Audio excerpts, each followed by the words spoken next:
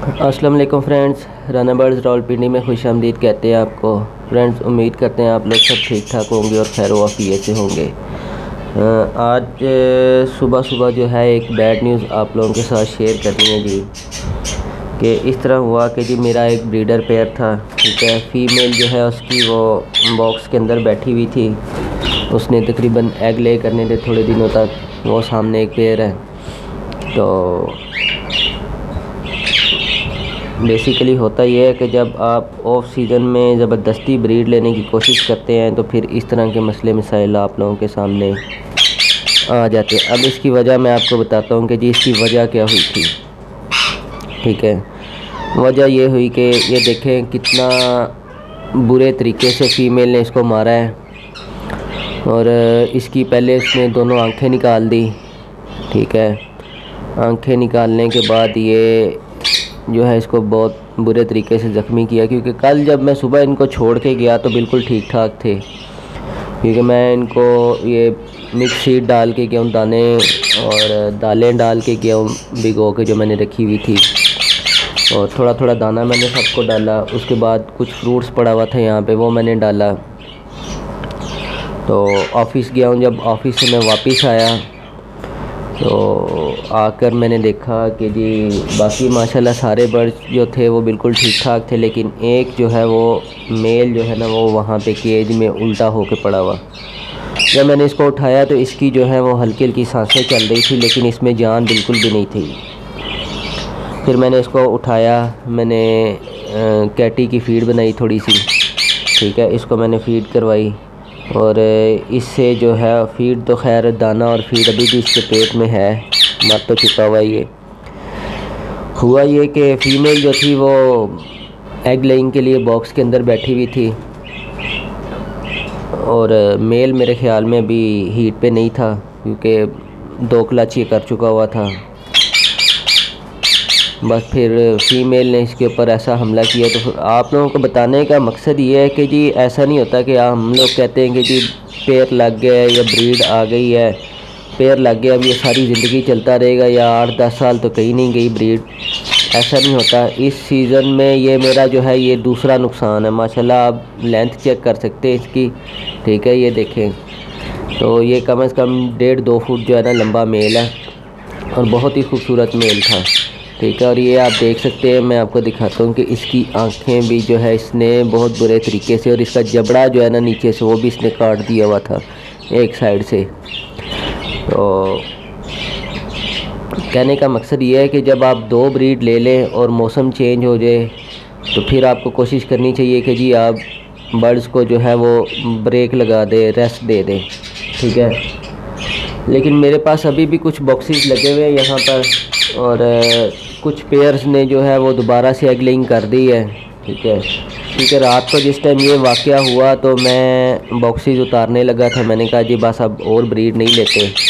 लेकिन जब मैंने बॉक्सेस खोल के देखे तो उसमें जो है वो पहला पहला अंडा आ चुका हुआ था, तकरीबन तीसरी ब्रीड का, चौथी ब्रीड का। एक पेड़ की चौथी ब्रीड है और एक पेड़ की तीसरी ब्रीड है। और एक के एक जो है वो बॉक्स के अंदर बच्चे भी हैं। तो कभी कभी लगता है कि जी, वीडियोस जब हम लोग बनाते हैं तो लोगों की नज़र लग जाती है। मुझे बहुत सारे लोगों ने कहा कि जी, वीडियोस ना बनाया करो, सेटअप ना दिखाया करो, नज़र लग जाती है। और बहुत सारे जो बड़े ब्रीडर्स, हजरात हैं, या जिनके सेटअप्स बड़े हैं, या जो जिनके पास बर्ड्स हैं, वो नहीं दिखाते अपना सेटअप। और उसकी वजह भी यही होती है कि जी, नज़र एक ऐसी चीज़ है कि बंदा अगर सदका खैरात करे तो कितना करे? ठीक है, अगर बर्ड्स की नज़र उतारे तो कितनी उतारे? अब अगर बंदा कहे कि जी डेली हम जो है ना वो अपने बर्ड्स की नज़र उतारें तो ऐसा भी नहीं हो सकता। बहरहाल अल्लाह पाक जो है हमारे बर्ड्स की और बाकी भी जितने लोग हैं, उनके बर्ड्स की हिफाजत करे, उनके जानो माल की हिफाजत करे। और मैं समझता हूँ कि ये छोटा नुकसान जो है, ये किसी बड़े नुकसान से बहुत बेहतर होता है कि इसमें भी कोई अल्लाह पाक की जो है वो बेहतरी थी, कोई रज़ा थी, जो हमें छोटे नुकसान में ही मिल गई, ज़्यादा बड़ा नुकसान नहीं हुआ। हो सकता है कि जी ये बच जाता और कुछ बड़ा नुकसान हो जाता। मैंने बहुत जगह सुना भी है, पढ़ा भी है, देखा भी है। कि लोग कहते हैं कि जी अगर इंसान पे कोई आफत आनी होती है तो वो, ये जो बर्ड्स हैं, ये उस आफत को, उस मुसीबत को, उन मसले, मसाइल को अपने ऊपर ले लेते हैं। तो मे बी के कोई मुझ पे आनी थी, कोई चीज़ ऐसी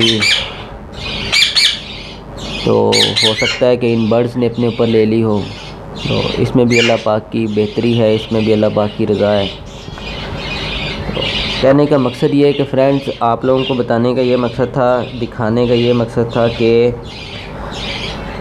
हम लोग जो कहते हैं, हम जो प्लानिंग करते हैं, वो ज़रूरी नहीं कि बिल्कुल वैसी ही पूरी की पूरी हो जाए। ठीक है? अब मैं ये सोच रहा था कि जी ये बर्ड्स हालाँकि मैंने इसी साल ही लगाए हैं। ठीक है? एक एक ब्रीड इनसे मैंने ली थी, एक ब्रीड ये कहीं और पर कर, करके आए थे। और मैंने सोचा था कि जी अब ये ब्रीडिंग सेटअप जो है वो पूरा हो चुका हुआ है और अभी तो पुराना सीज़न ही ख़त्म नहीं हुआ। नए आने वाले सीज़न तक पता नहीं क्या होगा, क्या नहीं। अभी तो गर्मी पड़नी है, अभी तो हब्स वाला मौसम आना है तो उसकी भी तैयारी करनी है। तो फ्रेंड मैं कोशिश करूँगा कि आप लोगों को जो है वो अब थोड़ा सा अपना स्टाइल वीडियोस का चेंज करूँ, ठीक है? तो इन इंफॉर्मेशन देने का सिलसिला जो है वो नहीं रुकेगा। इंफॉर्मेशन देने का सिलसिला जारी रहेगा, ठीक है? और बाकी रही बात बर्ड्स की तो ये नफ़ा नुकसान बिज़नेस में होता ही रहता है। इसमें कोई इतना घबराने वाली, कोई टेंशन लेने वाली बात नहीं है। लेकिन एक जब जान चली जाए तो दुख ज़रूर होता है। मैं रात से बहुत परेशान था। और मैं तकरीबन को चार पाँच दफ़ा उठ के इसके पास आया हूँ। जब मैंने इसको फ़ीड करवाई इसमें बिल्कुल भी जान नहीं थी। लेकिन फिर भी मैं जो है थोड़ी देर के बाद इसको मैं आया पानी पिलाया। फिर मैंने मैंने कहा जी शायद अगर इसमें साँसें हैं तो शायद ये जो है वो बाजे मगर नहीं ऐसा हुआ। ठीक है। तो फ्रेंड्स आप लोगों को दूसरी बात ये बताता चलूँ कि एक जो है आज ये मैं आ, मीठा कद्दू जो है वो ये ले आया हूँ। तकरीबन चालीस रुपये किलो मिला है। तो ये चार, साढ़े चार किलो था तकरीबन सौ, एक सौ बीस रुपये का, एक सौ चालीस रुपये का शायद उसने दिया मुझे। क्योंकि और भी काफ़ी सारा सामान लिया था तो मुझे अभी इसकी एग्जैक्ट प्राइस याद नहीं, लेकिन ये कि एक सौ चालीस रुपये शायद मैंने इसके दिए तो हम जो है दो दिन जो है वो लगातार अपने बर्ड्स को ये डालेंगे।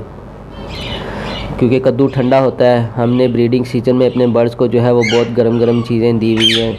ब्रीड लेने के लिए। अब जो पेयर हमने रेस्ट पे छोड़ दिए हैं, एक तो ये है कि फ्रेंड्स आपने अपने जब ये ब्रीडिंग सीज़न से बर्ड्स ऑफ़ होते हैं तो आपने अपने बर्ड्स को साइमो स्ट्रेस देनी है। ठीक है साइमो स्ट्रेस एक छोटा सा पुड़ी मिलती है पाउडर में, वो तकरीबन तीन सौ या साढ़े तीन सौ रुपये की है साइमो स्ट्रेस ठीक है तो वो आपने ले लेनी है और वो अपने बर्ड्स को एक लीटर पानी में, चार लीटर पानी में जो है एक ग्राम आपने डाल के देनी है। ठीक है, अगर आपके बर्ड्स स्ट्रेस में हैं और अगर आपके अगर आप नॉर्मल ही कोर्स करवाना चाह रहे हैं तो आप जो है वो आठ लीटर पानी में एक ग्राम जो है वो साइमोस्ट्रेस की आप डालेंगे, वो पाउडर से होता है एक। उससे यह है कि आपके बर्ड जो हैं वो ठंडे भी हो जाएँगे और स्ट्रेस में भी नहीं रहेंगे, ठीक हो जाएँगे और माहौल में एडजस्ट होना भी शुरू हो जाएँगे। और पंखे का जो है वो इस्तेमाल करना शुरू कर दें, पंखा बर्ड्स के लिए चलाना शुरू कर दें, दिन में गर्मी हो जाती है काफ़ी। और कोशिश किया करें कि सुबह नौ बजे से लेके और शाम चार, साढ़े चार बजे तक पंखा जो है वो चलता रहे। अगर कूलर का इंतज़ाम हो सकता है तो वो कर ले, नहीं तो पंखा भी फ़िलहाल लाजमी चलाएँ। कूलर के लिए भी आप पिंडी इस्लामाबाद के लोग और लाहौर के लोग, गुजरावाला के लोग जो है वो दस से पंद्रह दिन और वेट कर सकते हैं। ठीक है फ्रेंड? तो उम्मीद करता हूँ आपको जो है वो आज की वीडियो पसंद तो बिल्कुल भी नहीं आई होगी, क्योंकि नुकसान हो गया। और, जान का नुकसान मैं अपने अल्फाज में बयान नहीं कर सकता। ये दुख जो होता है, इसका कोई मदावा नहीं है।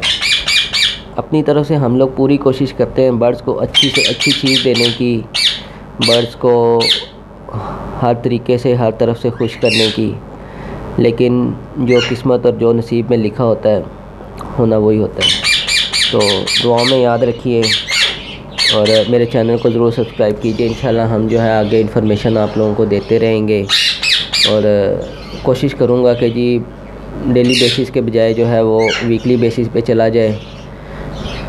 और जो भी प्रोग्रेस होगी इन आप लोगों को साथ लेके चलना है। बहुत सारे लोगों ने मेरे साथ मिल के सेटअप तो लगा लिया है। अगर मैं उनको रास्ते में छोड़ दूँगा बीच में तो ये मैं उन लोगों के साथ ज़्यादा करूँगा।